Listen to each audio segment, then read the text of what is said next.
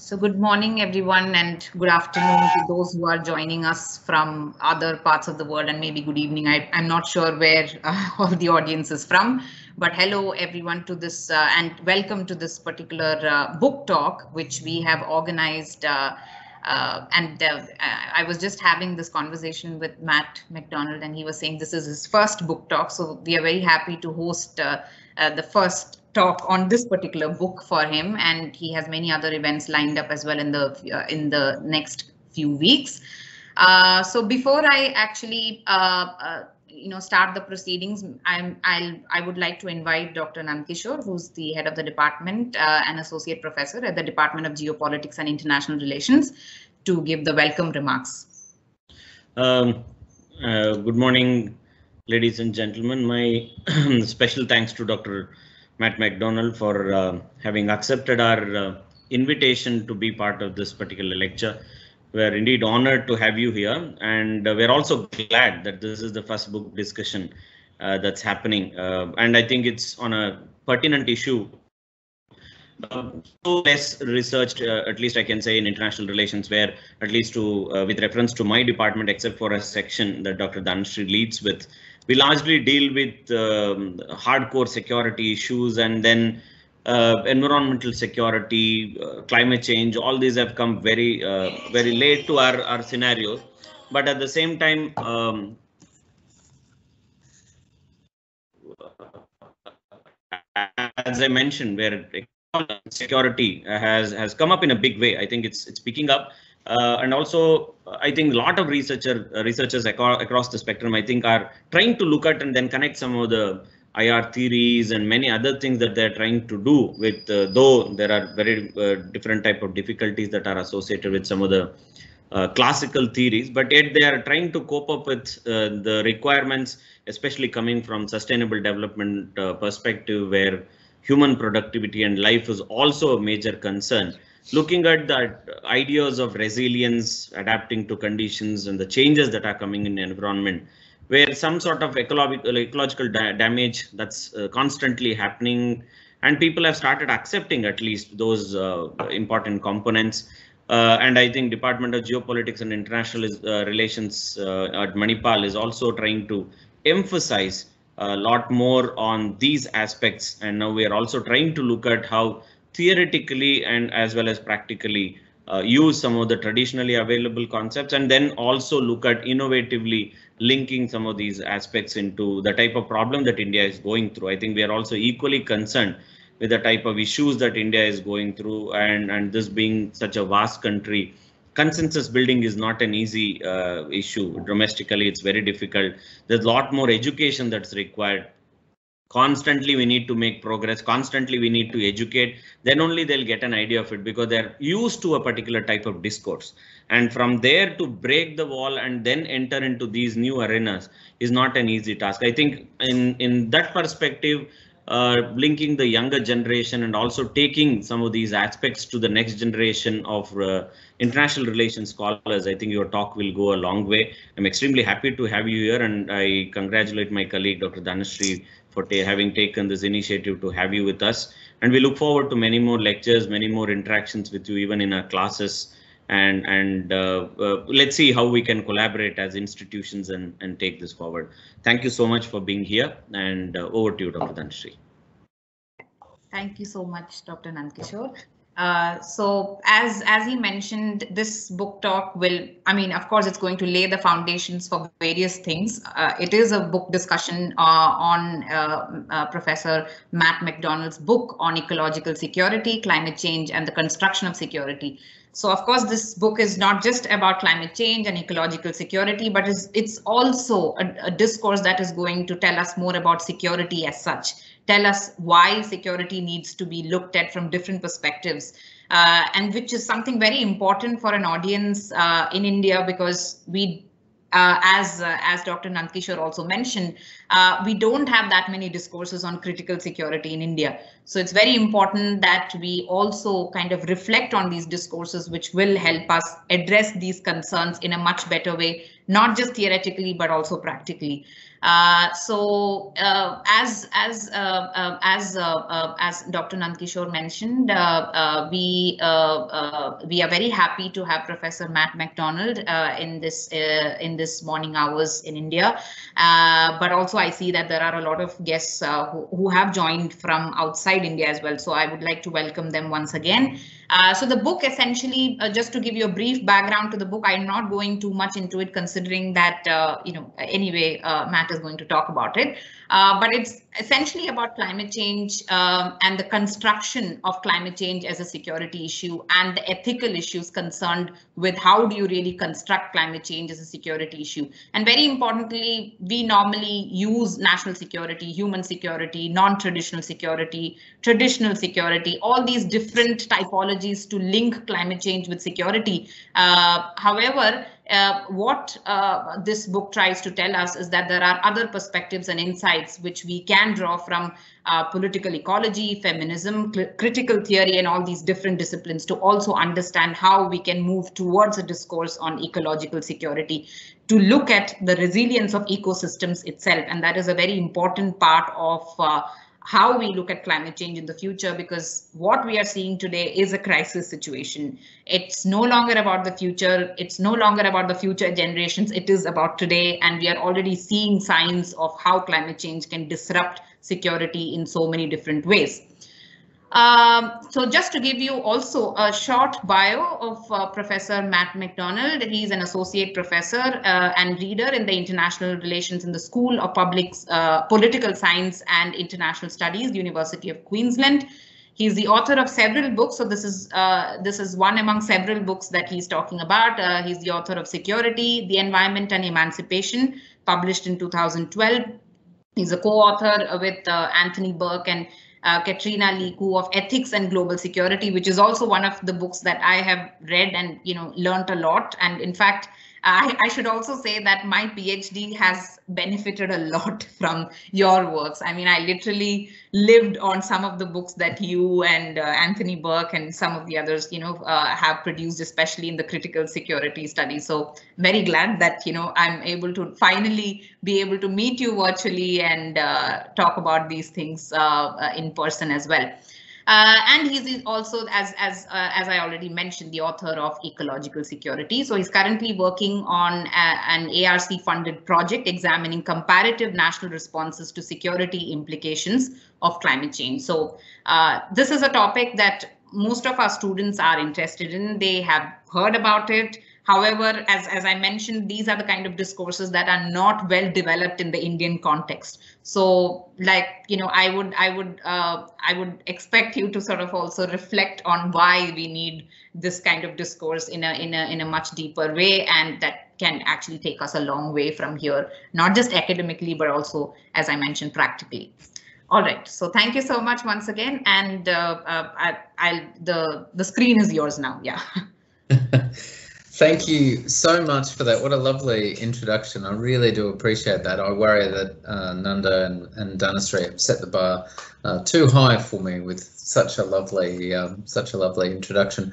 Hopefully you can see my um, screen and the uh, slides that I have up over there now. Um, so as Dhanasree's noted, this is a uh, presentation on a book that's coming out in just a couple of weeks' time um, that looks at ecological security um, and attempts to make a case for why we should view security when thinking about climate change through the lens of uh, ecosystem resilience as a means of addressing the rights and needs of the most vulnerable across time, uh, across space and across species. So I'll hopefully give a little bit of content to those things over the course of the next uh, 25 minutes. Um, so essentially, this uh, project looks at, uh, starts from the recognition that climate change is increasingly recognised and viewed as a security issue. Um, this is getting harder and harder to uh, to contest. Really, that when we think of an issue like climate change, we do recognise that this constitutes a threat to security. We see this, of course, in increasing debates uh, in the UN Security Council. Debates first in 2007, then again in 2011 but we've seen debates each year in 2000 and since 2018 with another um, a second debate of 2021 to come in just a few weeks time. We've seen the establishment of a climate security um, mechanism. So that uh, essentially is uh, within the UN system, uh, recognition again of the international security implications of, of climate change at the highest level. We've seen Arria formula debates, which are informal debates within the UN Security Council. We've seen high profile discussions about the role of climate change in contributing to conflicts in places like Darfur uh, in Sudan um, and South Sudan, and in even in Syria. And while there's lots of contestation over exactly what this means and exactly what the role of climate change has been in those contexts, it does point to this overwhelming sense that it's getting harder to contest the idea that climate change constitutes a uh, security issue. Indeed, Shirley Scott, um, some a few years ago now, published a paper in which she said that um, of states that are producing national security strategy documents, more than 70% of those increasingly recognise the um, particular security implications of climate change. So it's an issue that has become more and more prominent over time. Um, we've seen lots of attention to, other than those policy debates, we've seen lots of attention to in academic circles um, around both the analytical questions of how we relate climate change and security, and crucially normative questions over whether that linkage is a good thing and something to be pursued. So on the former, on analytical grounds, we might see questions like how exactly does climate change contribute to instability or indeed conflict? Um, with lots of uh, analysts talking about ideas like climate change serving as a threat multiplier that makes conflict more likely. Um, does it warrant being considered a security issue and how does it change in important ways the way we think about the role of traditional security agencies like defence and the military, for example, in that context? So those are some of the bigger analytical questions in this space. How do we make sense of that connection between climate change and security? But a lot of these questions are driven by normative concerns as well, or ethical questions. Is securitization a good thing? Um, does it help mobilize uh, or does it speak to different audiences? So some arguments suggest that actually if you present something as a security issue, it's more likely to get attention and to get the type of priority that's consistent with addressing the problem. At the heart of this is recognition that, of course, the promise of providing security is the fundamental basis for the legitimacy of nation states themselves. So this promise that we are here to provide security is actually what the social contract is based on, this idea that states exist and derive their legitimacy for providing for the well-being uh, of others, of their citizens. In that context, of course, it really matters whether we view something as a security issue or not. It's seen as mobilising, as creating um, conditions in which states are more likely and other powerful actors like the UN are more likely to recognise their obligations in that context and actually commit to addressing uh, the problem itself. So for some, that language of security can really help mobilize. It can give this sense of urgency, of priority, of, of attention. It can also potentially speak to some audiences who might be unmoved by claims about the rights and needs of future generations, for example, but are deeply concerned about the possibility of um, climate refugees coming over the border or deeply concerned about the territorial integrity of, of the state itself. For others, though, um, this linkage between climate change and security is best avoided because it could help encourage illiberal responses to the problem. It could encourage militaries to take on a more central role than is appropriate for addressing something like uh, an environmental challenge. It could encourage exceptional responses in times where you actually need deliberation where you need lots of engagement with society through democratic processes to help um, address some of these issues. And as I know Dhanasree would know, one really fascinating thing in the, in a recent UN Security Council debate was that the uh, Indian delegation actually invoked um, securitization as a concern when pointing to um, climate change being discussed in the Security Council, saying, "Are we worried about encouraging the wrong types of responses to this particular issue?" So those latter questions, those normative questions, are questions around is it appropriate, is it a good thing to consider climate change as a security issue? This book, so much of this book is based on the idea that that isn't the right question to be asking. Um, if we're interested in the ethical implications of tying climate change and security, what matters isn't whether climate change is viewed as a security issue or not, but how security is defined and understood. So in the book itself, I distinguish between what I call discourses of climate security, all of which have different choices of referent object or the answer to the question of whose security is worth preserving. And these point in turn to different sets of responses to the problem of, of climate change itself. And that's really important. It helps explain my engagement with security because security is, is central to the, the political legitimacy of key actors in politics. And it helps define importance. So in that context, my argument is that it's really important to actually engage with and assess the normative or practical implications of different accounts of security. Um, to put it really simply, there are multiple different ways of approaching this relationship um, between climate change on the one hand and security on the other. And it makes sense for us to pull back and ask whose security at a fundamental level are we talking about when we make these connections? And what are the different types of practices that are encouraged when our answer to that question is nation states versus the international community versus human security, uh, for example. So in earlier work, um, and this is in some ways the, the foundation for this particular book, um, in earlier work I made these distinctions between different discourses of climate security and developed this uh, kind of typology or this table uh, that you see there. Um, this was published in the journal Political Geography in 2013. And the ar argument here, or the idea here, was to say, look, there are lots of different ways of approaching this problem. And that's important to recognise because these different approaches have different implications.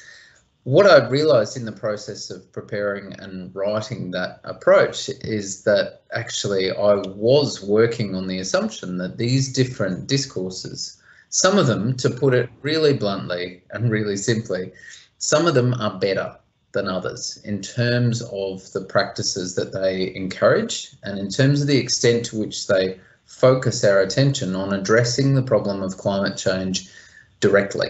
Um, and in that context, the challenge for me was then to say, well, if I think that some of these discourses are better than others, then it becomes important for me not just to map different accounts of security, but actually to make a case for a particular um, discourse, to make a case for why it's important to view climate change and its relationship to security through this particular lens, talk about what it means in practice, what sort of choices that would encourage around the responses to climate change, and then crucially also engage with this question of how we might actually get there. And in the end, those distinctions are central to the structure of the, the book itself.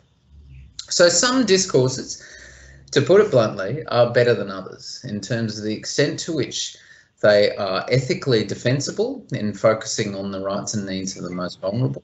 And in terms of prioritising responses that address the problem itself. So the national security focus that you see at the top there is a focus that, that defines the security implications of climate change in indirect terms and essentially doesn't view climate change in and of itself, for the most part, as a security threat. Rather, what it does is essentially say climate change becomes a security issue to the extent that it challenges the sovereignty and territorial integrity of the state and the capacity for the state to actually function to provide more traditionally defined security in terms of um, military capacity. Uh, there may be exceptions, there may be situations in which climate change is recognised as a direct threat to security here if you're talking about states that um, could be wholly inundated, for example, with rising sea levels. But for the most part, climate change is represented as a kind of indirect or secondary threat to national security.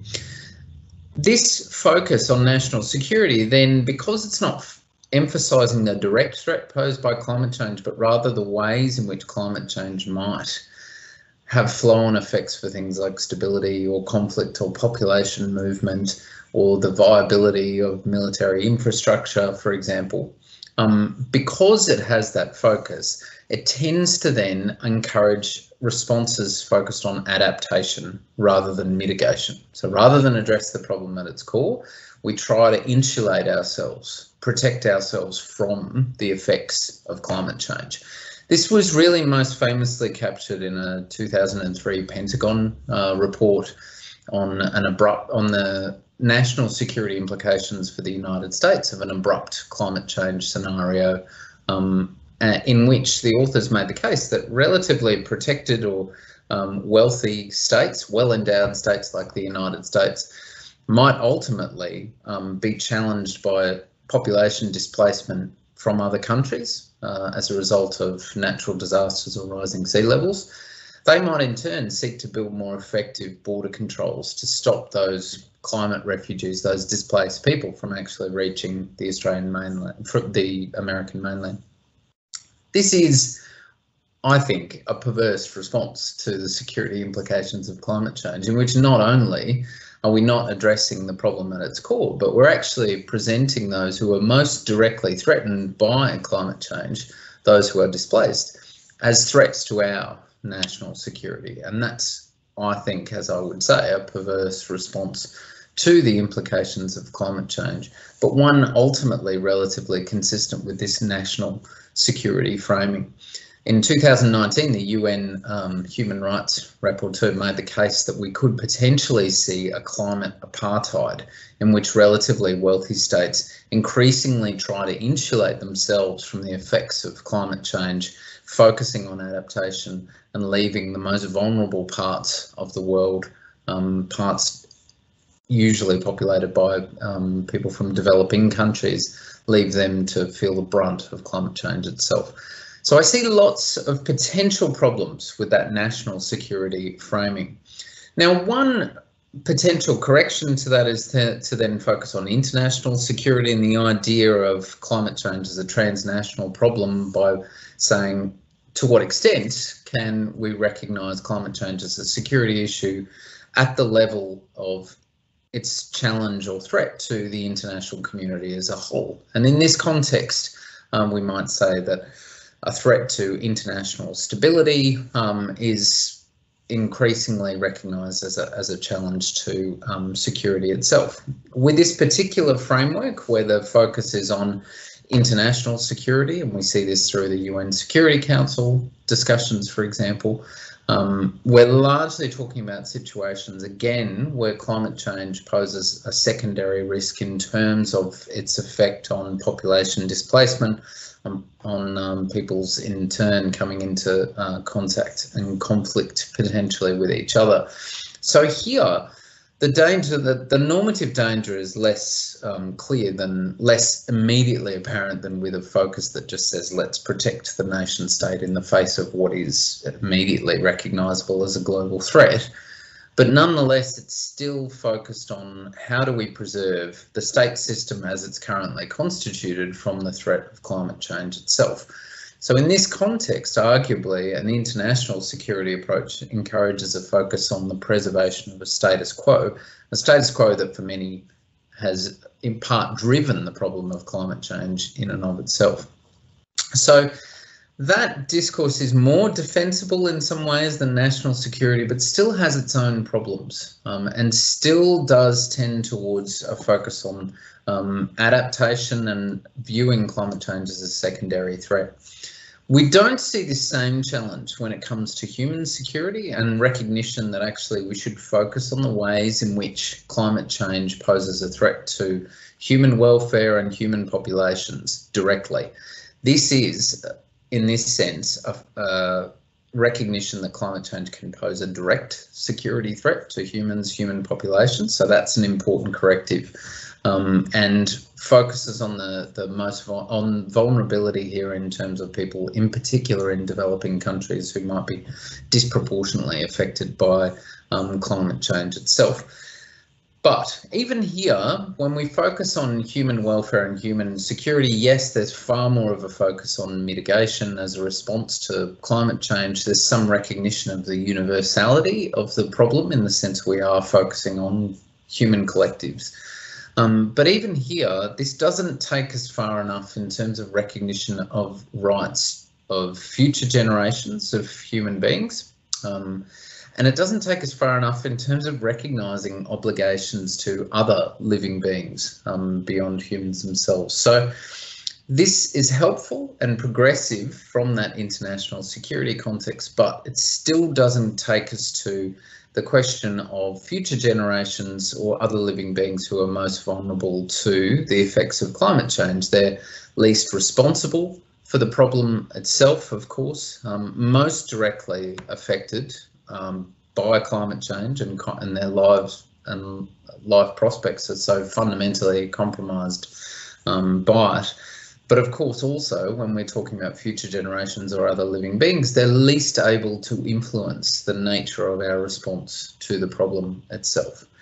So that's the foundation in some ways for a recognition that there are these limits to existing accounts of climate security that focus on human collectives and human institutions that take us to a certain point but don't recognise the importance of going further. And I want to make a case that actually what constitutes a progressive approach to um, climate security, to this relationship between climate security, is a focus on ecological security.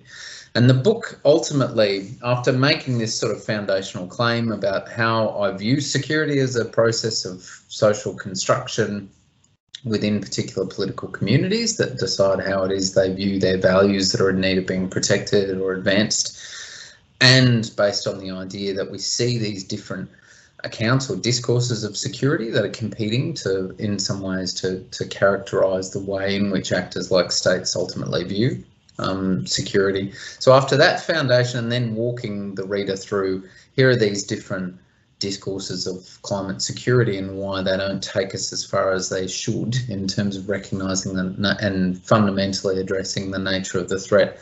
The book then goes on to go deep on the question of what ecological security is. So what it is, why it's necessary, what it means in practice, and crucially, in some ways, the more challenging question, how we might actually get there.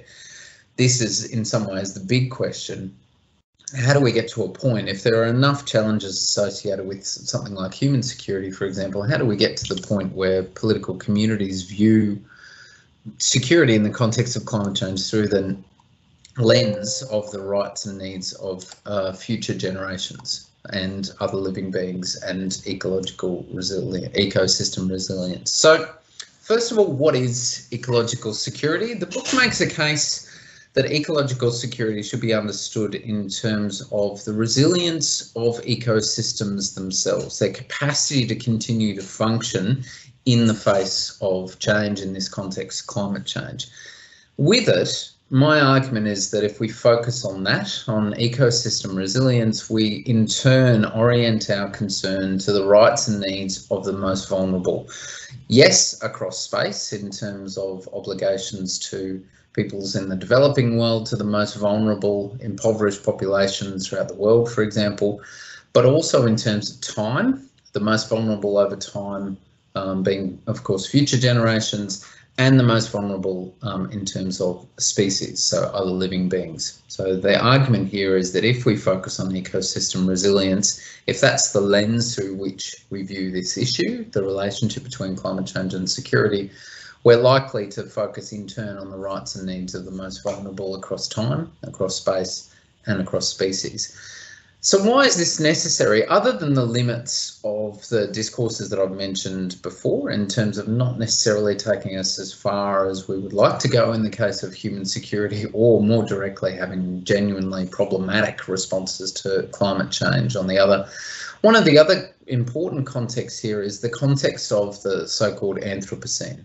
So the argument that we are now in a geological era defined by humanity's impact on Earth systems and their functionality. In this context, my, my argument would be that we need to move beyond all those other discourses because they all stop short of recognising the um, placement, if you like, of humanity in a broader ecosystem context. They all tend to close off either um, human collectives or human institutions from the ecological conditions of our own existence. So we need, in the context of the Anthropocene, it becomes really difficult to sustain this separation between humanity and nature that seems to characterise so much of modern political thought, action. And we need to recognise the uh, role of interrelationships um, between humanity and nature, for example, the impossibility as well of closing humanity off from the conditions of its own existence.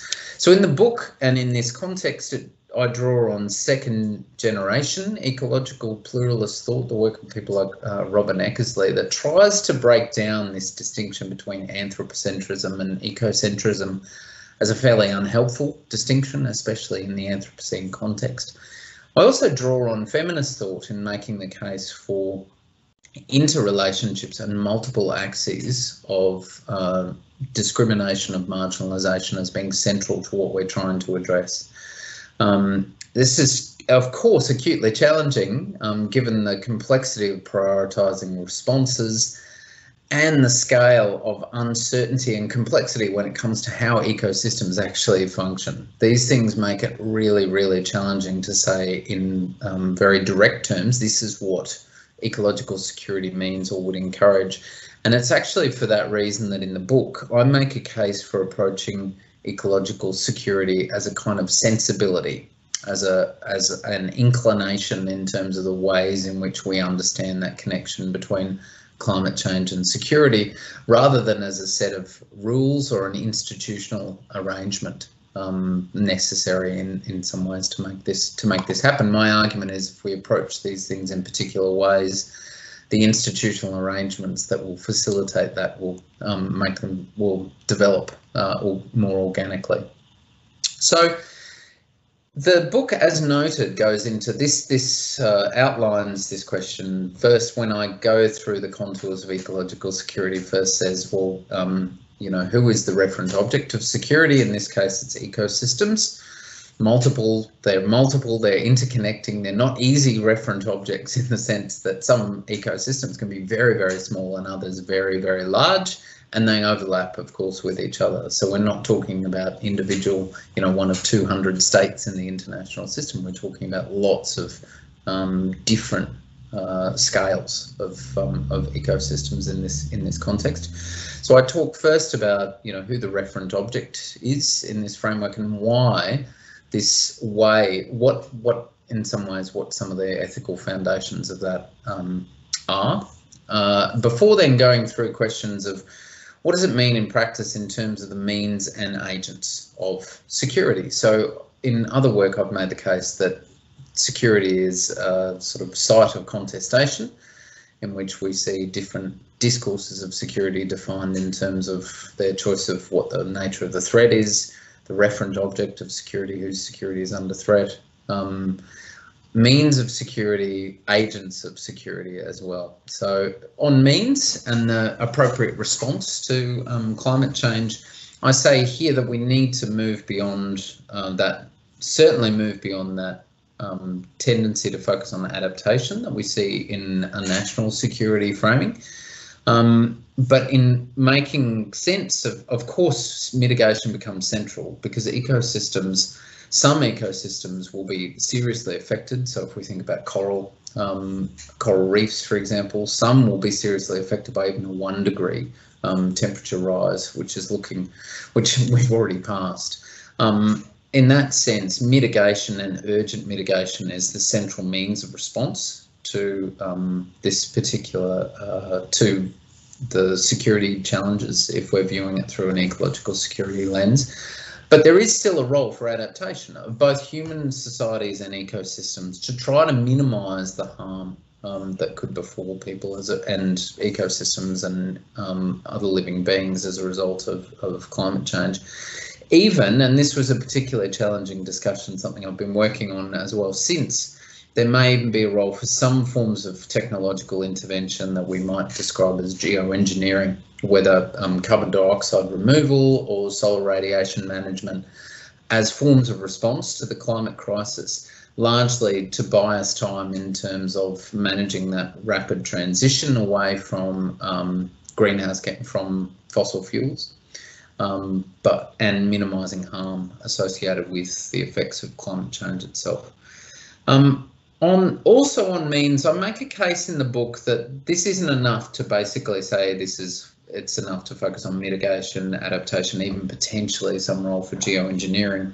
I make a case for the centrality of dialogue, humility, and reflexivity in terms of what all these things mean in practice. So, in terms of dialogue, we need to ensure that there is constant conversation about the appropriateness of particular forms of response, that we draw on local knowledges, Indigenous knowledges, for example, about how ecosystems function, that we ensure that means of response are sustainable over time by actually engaging local communities in um, building support for those things. We need humility in the sense that we need to be acutely aware that there are significant and inherent limits to our own understanding of what effects particular interventions will have on ecosystems. This is not least in the context, despite all the scientific work about climate change, we still can't say with absolute certainty whether there will be climate tipping points, at which point particular ecosystems are going to be fundamentally and irrevocably compromised, when we'll see tip over into um, other sets of implications. We all know that despite knowing that natural disasters are going to become more frequent and more intense in the context of climate change, we also know in that context that we can't necessarily tie particular sets of bushfires or um, floods or cyclones directly to climate change. We know that they'll they'll make it complicated and um, that they'll make them more likely, but not necessarily cause them um, in that in that sense. And all those things suggest the need for us to be humble about what we can claim, um, rather than have this sense of hubris around how we approach the effects of climate change and respond to it. Related to that is this uh, importance of reflexivity, of stepping back as we're engaging in practices aimed at enhancing ecological security to say, are our initial policy settings and practical responses right? Are there things we need to do to change? How is it that our initial assumptions are bearing out in terms of some of the um, implications of those things in practice? And then um, in terms of agents, I define this primarily in terms of agency for me is multivariate, is really significant in terms of multiple different sets of agents in the international system. It's primarily defined in terms of capacity, um, drawing on notions of distributive justice in this sense. So I say here there is clearly a role for states and thinking about what states can do to respond to the challenge of climate change but also a role for individuals, for intergovernmental organisations, for multinational corporations. And the nature of their obligation, the nature of their actions depends somewhat on their um, capacity, and the nature of their obli- nature of their particular obligations also depend on their capacity to bring resource to bear to consciously address challenges associated with climate change. So lots of different agents involved, and I'm happy to, to draw that out in the context of Q&A. So fi the final chapter of the book deals with this question of how do we actually get there? How do we get from recognition that, yes, this would be a nice way of thinking about the challenges that climate change poses to, to security to thinking about how do we actually get there in practice? Can we imagine um, that type of image finding purchase and genuinely informing the way communities um, practice in response. And here I draw on the work of um, Pierre Bourdieu, the French sociologist, who makes a case for understanding the possibility of change within structures that seem not particularly conducive for it and how we might think about agency in that context. Here I recognise that there are actually lots of basis for optimism or at least hope in terms of what we might call immanent possibility, possibilities within the existing system. In some ways, core principles that we agree on, like the precautionary principle or common but differentiated responsibility, the development of Oxford principles associated with geoengineering really do draw directly on some of those um, sort of commitments that are seen as part of um, ecological security. There's also um, the prominence attached to the Anthropocene concept is also relevant here. And the ways in which eco ecological movements, uh, environmental movements throughout the world are mobilising that is in in some ways ecological security in practice in that context. However, we do need to go further. We need to recognise the need to identify radical alternatives um, to move beyond the existing political system rather than accept it as a given. So rather than my whole argument is that rather than say there are inherent limits to this discourse, so let's develop an alternative approach that will find more purchase among key political institutions. My approach would be to say if we think this is the most defensible way of approaching this relationship, the imperative shouldn't be to abandon it and try to find something that's more palatable to existing institutions. The imperative instead should be to say, how can we get institutions to recognise and practice in ways that are consistent with this. Um, so that's where we're at in terms of the overall book. The, the contemporary challenge, I think, of climate change requires us to rethink fundamentally the way we think of security if we are linking climate change and security, and we need to orient towards the resilience of ecosystems themselves. There are, of course, really big challenges and dilemmas in this context associated with how we move beyond our own anthropocentrism, how we deal with uncertainty and complexity around how ecosystems function and will respond to um, external uh, impacts. The politics of how we actually get from recognition that this is progressive to um, practices consistent with it and the applicability of some of these things beyond climate change as an issue is, is worth considering uh, as well. Those are all big challenges and dilemmas touched on in the book. There are possibly many more that you've identified over the course of the last uh, half an hour or so. Um, I've got the, the, link to buy the book there. Uh, it comes out in a couple of weeks' time. It's almost certainly prohibitively expensive in the first instance, but it really would be an ideal gift for that special someone, possibly uh, for Christmas. But I will leave my comments there. Okay. Yeah. Thank you. Thank, you. Thank you so much for that. For that uh, very, I mean, broad at the same time very specific. Uh, you know, you went into the specifics of the book, each chapter, and I think you've covered a wide range of issues that we need to think about and reflect about. Um, even when we try to, you know, I, as you were talking, I was trying to just apply some of these things in the Indian context uh, and whether it is the politics between the developed and the developing countries or the politics of the vulnerable populations. You talk about the changing landscape that you mentioned, you know, the changing ecosystems itself, all these issues become increasingly important to address security today. And that is not just in terms of, you know, uh, I mean, the various compartmentalization that you do in terms of security, but they are so interconnected with each other at the end of the day, right? So thank you so much for that. Um, I will now uh, open the floor for questions. Please raise your hands. Uh, okay, uh, uh, please raise your hands or you can just post the questions in the chat if that's fine. Um, and uh, okay, so uh, before Okay, let me see if there are any raised hands. Not yet, but okay, I see a message that somebody wants to post a question. Okay, in the meantime, maybe I'll, I'll just start off with a couple of questions that I have. I think one of the issues that you mentioned about the purchase part, right? The purchase of this, uh, the concept of ecological security itself. uh, how i mean you know uh, uh, there are a lot of works which also talk about the fact that you know once you have this ecocentric sort of approach where do the humans really get uh, placed in that sort of discourse how do you really make sure that human security discourse or other discourses also find a place in the ecological security discourse you have already reflected on that a bit but i was just wondering like especially when you take the uh, example of developing countries uh, right? So who are still looking at a certain development trajectory, uh, even in the coming years, uh, and at the same time looking at severe environmental degradation on account of these developmental activities and otherwise. How do you really uh, how do you really reflect on these in you know inconsistencies that you find, especially when it comes to the developing country context? So yeah, that that's one question. Maybe you can just talk about it. And in the meantime, I'll just collect questions. Yeah.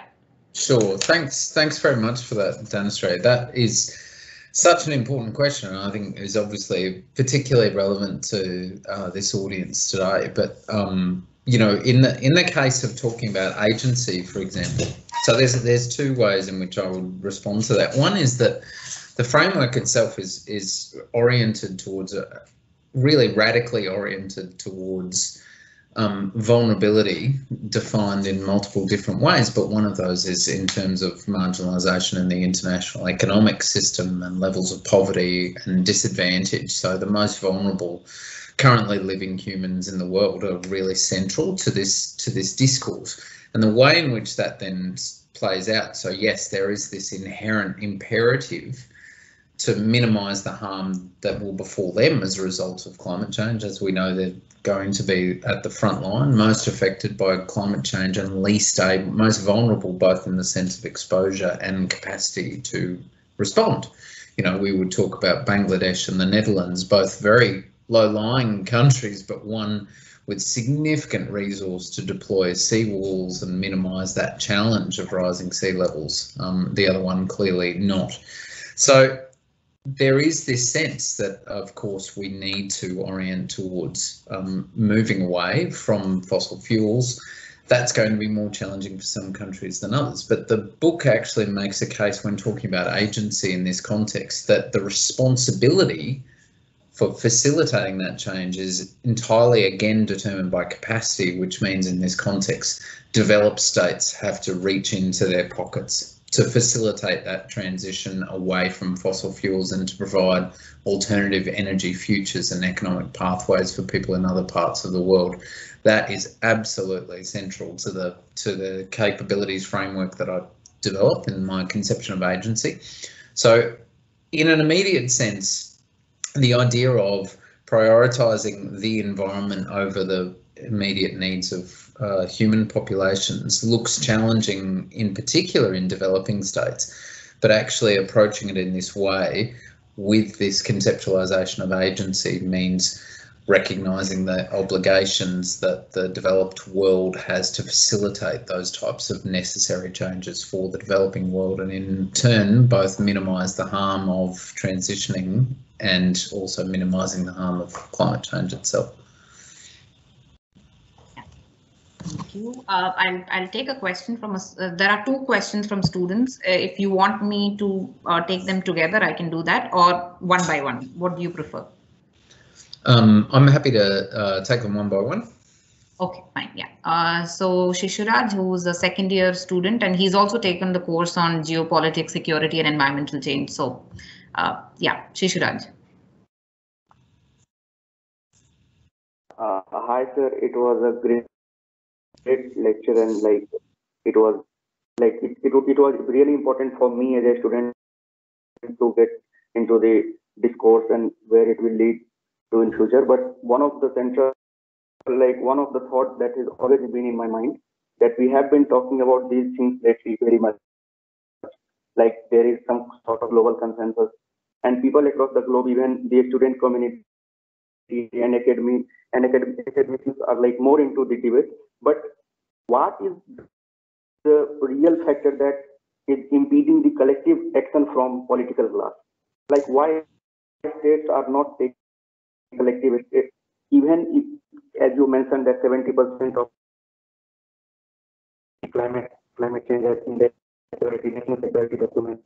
And there are already n number of solutions, even in the geoengineering or other major tariff level. But what are, are the factors that is impeding in a collective decision making or collective action?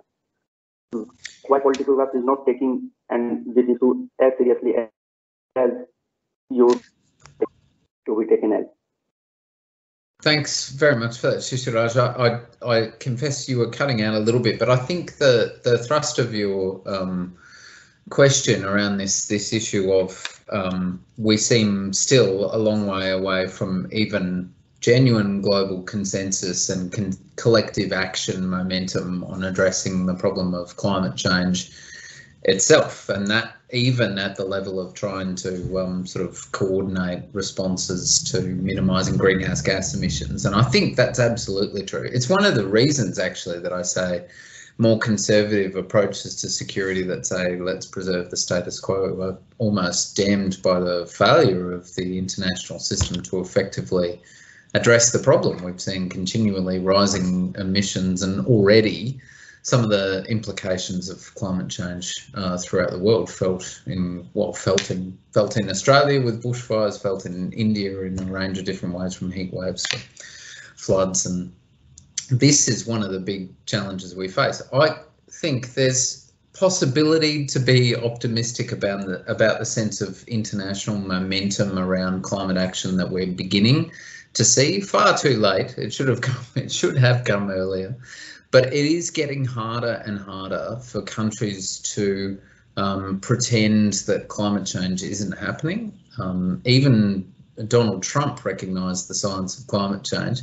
Um, it's getting harder and harder for countries to try to keep going with traditional modes of fossil fuel development and export. My own country, Australia, is under so much international pressure just now because of its ongoing commitment to um, coal exporting um, and its minimal climate reduction ambitions.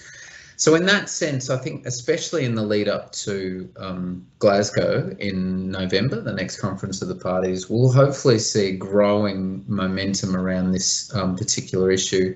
There is, I think, also some possibility that the COVID context might provide an opportunity for countries to make different choices in terms of the structure of not just energy systems, but economies and how they actually function. So I take your point that we are seeing a massive and arguably unprecedented failure of collective action that climate change represents. But um, in part because we don't have any other choice than to work together, I think there has to be some sort of degree of of hope or optimism around creating pathways to ensure that that does happen in the future. There are glimmers of hope, I think. Uh, yeah, okay. Uh, Thank you. Thank you, Professor.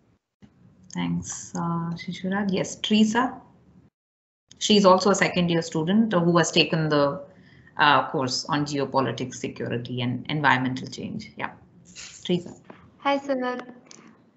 This is Teresa, and um, am I audible? Yeah, you are. All right. Uh, so I wanted to ask you about intersectionality within climate change. And I've been reading quite a bit about it. And it, you can just give me a general outlook of what's your perspective on it. Basically, I wanted to know if it is practical to include the aspect of intersectionality within climate change because I've seen it on paper, but when it comes to practical measures, I'm seeing I'm not seeing much of that. Uh, so do you think in the future maybe there would be practical approaches to be more inclusive or do you think that's just a hoax as long as um, old white men are in control? that's a very, very good question and very fair point, Teresa.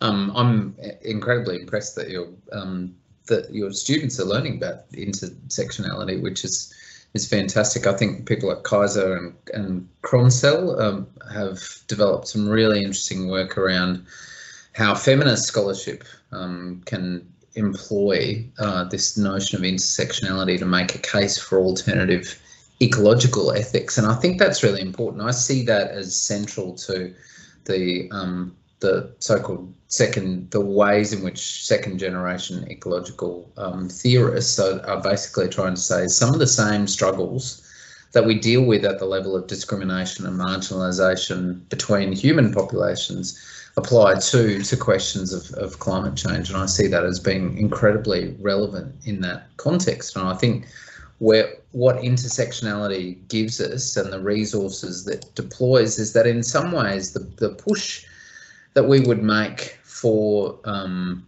things like recognition of the Anthropocene and the, the, impossibility of separating ourselves wholly from the conditions of our own existence in nature. I think intersectionality is already something that we can draw on existing theories of sort of as noted, existing feminist theories, we can draw on those as ways of making sense of the nature of the eco ecological challenge. So I, I see it as being a really useful tool, and I do use it in the um, in the book itself. It gets a it gets a mention. Thank you, sir. Thank you. Uh, so there's a question from Kiran, who's also a student at the department. Uh, he has posted it in the chat. So he asks uh, how important uh, is simulating urban growth scenarios, especially in the developing countries based on ecological security patterns. And also is urban ecological security a new paradigm to understand the dilemma to choose between economic development and environmental security? Mm, wow. Um, so one of the one of the challenges, one of the things that um, in a range of countries, there has been this really powerful discourse around the, the distinction between, on the one hand, environmental action, on the other hand, economic growth. And one of the things with pushing in the direction of ecological security in response to climate change is that that absolutely has to change. We can't abandon one in favour of the other. We need to find ways to ensure continued um, economic development economic opportunity while at the same time respecting uh, the impacts on the environment. So in that sense, I think ecological security poses a fundamental challenge to that distinction and recognises the imperative of addressing immediate economic need through alternative modes of development, through thinking of development in, in wholly different ways from a model that's based on extraction and continued growth. In terms of in terms of urban growth, that that gets really tricky in terms of the the specificity that we're talking about there in terms of you know what what would it mean to approach what would it mean to think about how cities develop and grow and how we build them how we structure them what how would we approach that if approaching it through the lens of ecological security? It means lots and lots of reflection on some of the choices that are being made in terms of what um, cities are going to look like in decades time in the context of a climate change world, how we um, give people some form of connection to nature while at the same time not just sprawl in terms of um, dominating more and more uh, natural space through creating conditions for um, sort of larger dwellings. And that all that stuff needs to then be sort of fed into if we my argument with the sensibility is that if we have this framework for thinking about what um, security means in this context, then it's more likely to encourage us to engage in reflection and dialogue around um, the specifics of things like what do cities look like? How do we think about transportation in the future? How do we think about the role of geoengineering? How do we think about energy production? It doesn't necessarily, the book doesn't necessarily have answers specifically to each of those policy areas. Rather, it develops this framework through which we view these things if we're planning to have progressive responses to them. Um, I don't see any hands raised. I, I have a question, actually, one more question, since you mentioned about, uh, okay, I, I see that a student has raised. Maybe I'll just reserve my question for later. Yes, Madhuvanti. Uh, she's also a student at the department, second year student. Yeah, Madhuvanti. Thank you for the answer. Uh, you are not audible.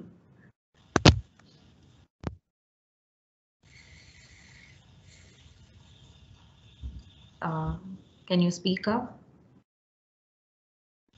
Am I audible, sir? Yeah, yeah, you slightly louder so that we can hear you well. Uh, okay, ma'am. Okay, I have two questions, sir. uh, two are also respect to China. So the first question is where does China stand in terms of developing and developed nation? Because it's one of the richest developing country, but it's one of the leading uh, countries in terms of renewable energy technology. So first question is regarding that. And the second question is the current tensions between the great uh, powers like US and China, how this will affect the discourse in terms of ecological security and the climate change. Mm.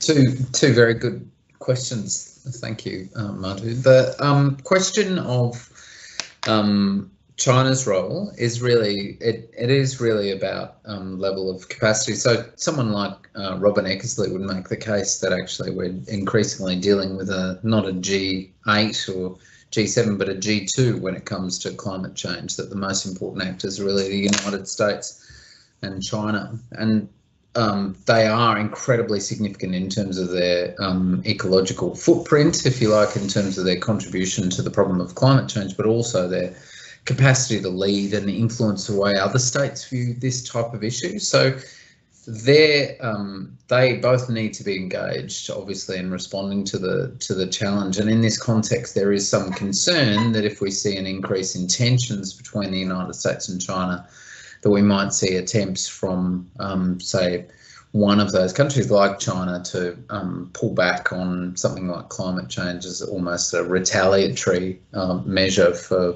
say, something that the Biden administration looks to looks to pursue. So that's a genuine that's a genuine concern. How do you get big countries to recognise their obligations to stay engaged with the international climate regime? And there are dangers then in, inherent in the possibility of conflict that or contestation that's between those states that spills over into inaction on the collective problem of climate change.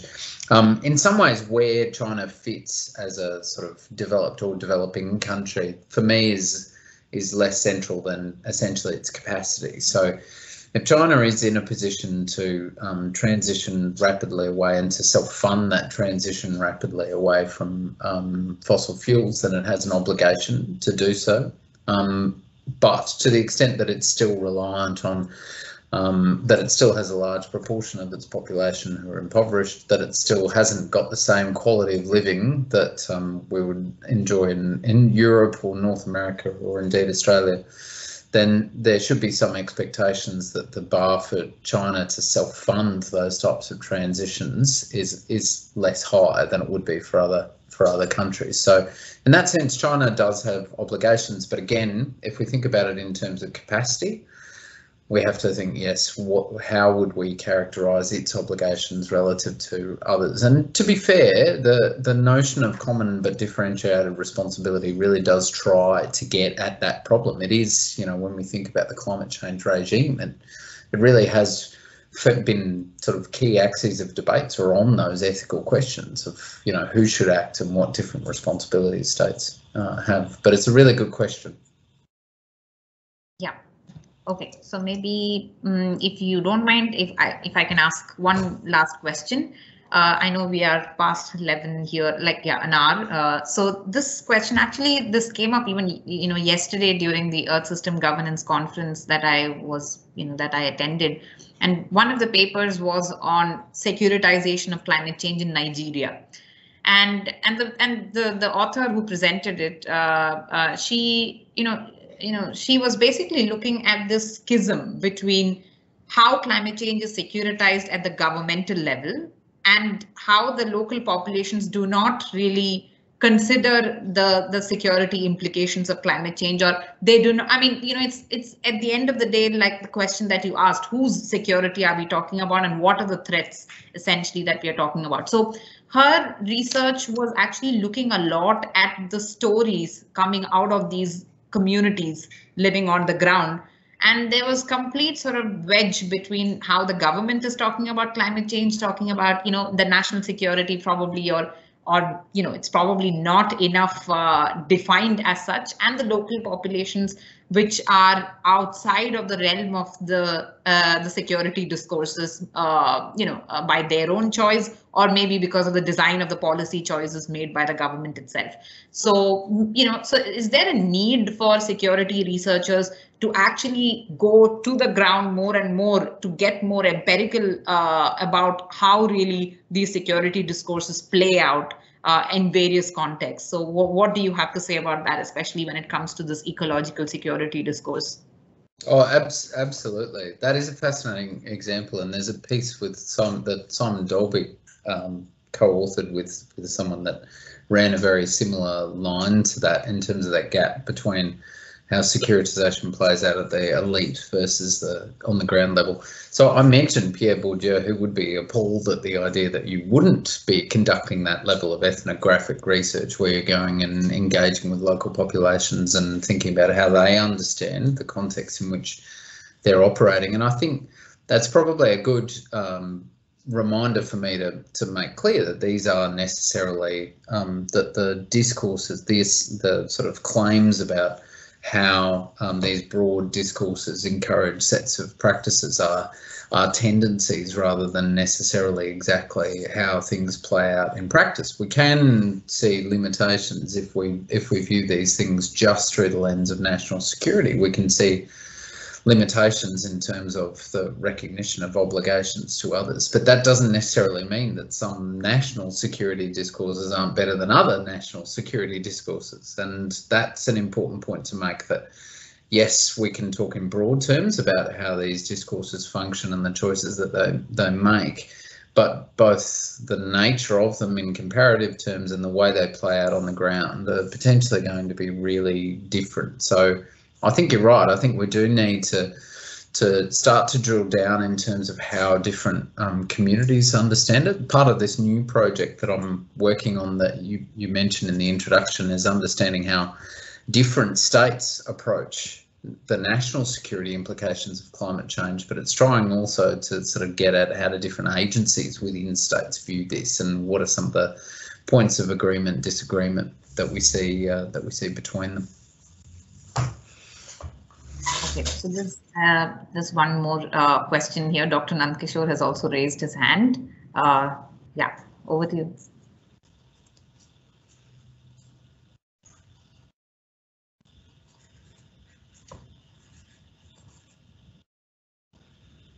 Can I? Yes, yes, yes. Yeah. Okay. Um, that was a wonderful lecture. Thank you so much. Um, what I, I thought of problematizing is I think when it comes to securitization, I think uh, state across the spectrum in different parts of the world, state continues to think somehow uh, from time immemorial, uh, security has been an elite subject. That means it's decision of a few. Maybe that states are going through um, two sort of dilemmas. One, uh, because this is one space where they would want to engage with other nations. There is some sort of a competition that who does better or um, are they are looking at the other way that let somebody else lead from the front and then we shall do. That's one part of it. Second part of it also at the domestic audience, I think the state is still so conservative that it doesn't want to give up the idea on security to the public or to its citizens. It still wants to be at that pivotal position and wants wants it uh, wants the audience or wants the stakeholders or the citizens to look up to the state as the security provider, whether it is ecological, whether it is the national security that's spoken from the perspective of military. I think the still uh, still the state is very very conservative and it holds it very close to its heart. I think there where uh, when we talk about uh, intersectionality of having different stakeholders, taking it to the lowest level of who are the affected will they be able to contribute or to listen to them? In all these spaces i think because of uh, certain attachment to the word security being very state centric i think there is some problem that uh, especially at least i can reflect from uh, india's state of affairs. I think it still makes uh, what you say or it still expects people to look up to the state to deliver a lot of things and uh, invariably over a period of time the way people have got trained people also look up to the state to uh, what is a be the net security provider whether it is an issue of simple public distribution system to environmental change to border security. I think in all the spaces they are still expecting state to be the security provider. I think this is into uh, the classical way of how uh, people like Agamben, uh, George Agamben put up saying that state creates a space where you look up to the state to uh, what deliver the things that you anticipate. It it does not. It will keep quiet for a while, and then state uh, state just becomes a spectator on some of these issues which are very tricky, which are also international in nature, and then pushes people themselves to go walk up to the state and then demand why don't you do something? So that they can take credit to it saying that one we have responded to a requirement that has come from the society. I think this dilemma uh, can be broken only when i think it becomes a societal movement. It's not just a section of scholars in the country who speak about it or a section of activists who speak about it. I think there's also this divide between the activists and then the academics academics. I think the academic activists has to come together so that they can go further to the lowest level to educate people and then subsequently make it make it to look uh, for the state that it's a very normal sort of a necessity is not something that phenomenally the state has to deliver I think that's the that's the better approach I find uh, when it comes to ecological security uh, if it has to be taken forward. I think probably your comments on that would be very helpful. That's the idea of intellectuals who see their role in that way. It reminds me of um, uh, Gramsci's notion of organic intellectuals true, who true, try to work true. within um, and try to reach out to to change from within. I think you're right. I think um, on the question of the state, the, the challenge isn't necessarily that we lecture to the state and then the state says, okay, we've realised we need to make this type of change. The the state has to be compelled. So we have to find ways to get the state and the, those who uh, occupy positions of power within the state to understand their role in that way. And you're right that that requires significant levels of pressure from within. Now, even if some of that pressure is less about, um, you know, here's why ecological security is the way to approach this, even if it's about things like, you know, how do we manage to to um, push for more action and more ambition on climate change.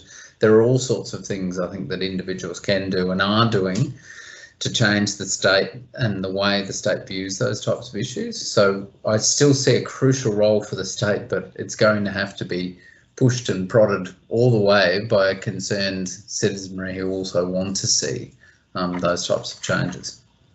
Thank you. Okay, uh, thank you so much for all these responses. Um, I don't see any other hands raised, so I think it's a good time to also uh, close the event. Uh, we've had a wonderful discussion, um, and I'm, you know, I'm hopeful that the students will be inspired to, like I mentioned in my email to you, they will be inspired to take up this book and read more uh, about uh, about ecological security and generally on discourses of security, which is, like I mentioned, very important to understand in today's context where we are seeing so many different challenges uh, from different uh, angles. Uh, so thank you so much, uh, Matt, for uh, uh, for agreeing, uh, for actually accepting our invitation, first of all, and uh, giving us this wonderful opportunity to listen to you and uh, discuss with you, and hopefully carry forward these discussions um, as we move ahead. And because I know you're not going to stop at this, you're going to further explore further areas of research, and I'm sure you know there's a lot that students and you know I can take from all these uh, all these works that you will produce in the future. So uh, just to formally thank you once again uh, for taking your time out. Uh, and like like Dr. Nandkishore also mentioned, we will invite you again and, uh, you know, uh, hopefully we will get to listen to you more in the future as well. And, you know, at some point of time, I would hopefully like to meet you in person. So that's that's also that's yes. also in the offering. Yeah, okay. So thank you so much. I would like to also formally thank the Department of Geopolitics and International Relations, particularly Dr. Nandkishore for uh, for making this event possible because uh, because as I mentioned, you know, uh, these uh, environmental security is still a peripheral issue in India. I think we have had this conversation. Uh, I mean, you know, Matt and I have have had this conversation before. Also, it's not really a mainstream issue in India, and this is something that we need to push. And our department, in particular, under the leadership of Dr. Nandkishore, we are trying to push that agenda forward and trying to see how we can include more issues under the security umbrella to i mean like you said you prod the state you know keep on prodding the state. And this is possibly one ways of doing it especially by creating a generation of students who can you know actually do that. And as you as you saw there are quite a few students who are interested in these areas and would like to pursue their interest uh, in these areas. So thank you to the department. Thank you to all my colleagues uh, who um, who are present in, in this particular uh, in this webinar and also contributed to the coordination of this event. And and most importantly i would like to thank the students for uh, for uh, for participating very actively and asking these very pertinent questions to to Matt and I'm I'm sure uh, I hope he he also enjoyed the discussion as much as I did at least and uh, hope to hope to have you again at the at the department and uh, virtually or physically you know whenever whenever the situation is better yeah thank you so much so thank you Dhanasree and thank you Matt um, enjoyed the session very much take care Thank you so much for having me. Thank you. Yeah, bye.